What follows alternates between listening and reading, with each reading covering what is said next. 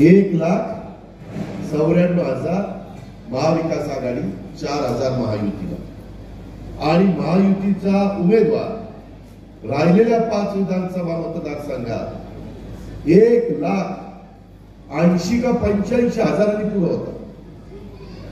पाच विधानसभा मतदारसंघात एक लाख ऐंशी पंच्याऐंशी का नव्वद हजारांनी पुढे होता. इथं एवढा फटका बसला आणि तो तो उमेदवार तिथं पाच का सहा हजार पडला कशी एकतर्फी मत दिली. आणि मग इथं काल का काही मी टीव्हीला बघत होतो.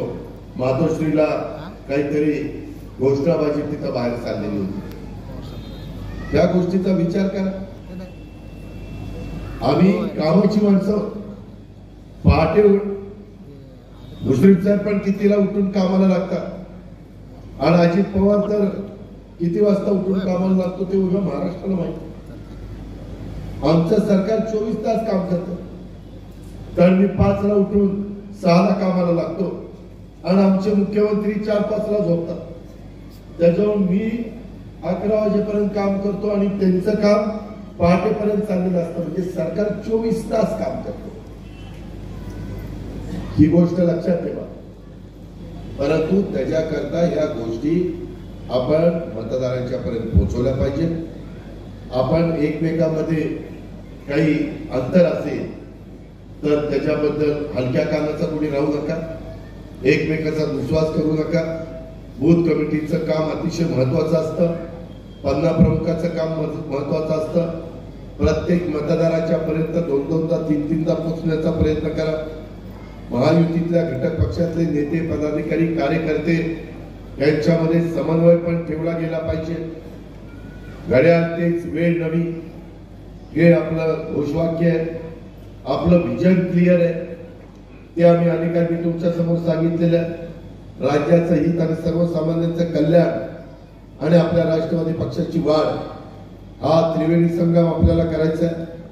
महाराष्ट्राची अर्थव्यवस्था ही वन ट्रिलियन डॉलरवर आपल्याला न्यायची महामानवांच्या विचारावर तुमच्या माझ्या पक्षाची वाटचाल चाललेली आहे.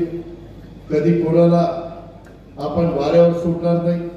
जो पक्षाच्या करता जसं आता इथं मुश्रीफ साहेब काल का परवाच मला बातमी कळाली की ज्या मुलांची ऑपरेशन झाली किती मुलं होती? शंभर. नाही, कार्यक्रम. तीनशे मुलं. आज तीनशे मुलांना एक नवं जीवन देण्याचं काम या श्रावण बाळांनी केलं. हे काम फार कमी लोकांना जमतं. राष्ट्रवादी काँग्रेस पक्ष आणि त्यांचे सहकारी त्याच्यामध्ये जास्त लक्ष देतात. सर्व घटकांना सोबत घेऊनच आपल्याला पक्षाची वाटचाल करायची. राष्ट्रवादी काँग्रेस पक्ष या पुढच्या काळामध्ये देखील सर्व जाती धर्म पंथ प्रांत भाषा नागरिकांना सोबत घेऊन विकासाच्या वाटेवर चालत राहणारा पक्ष आहे. राज्यात कुणावर अन्याय होणार नाही.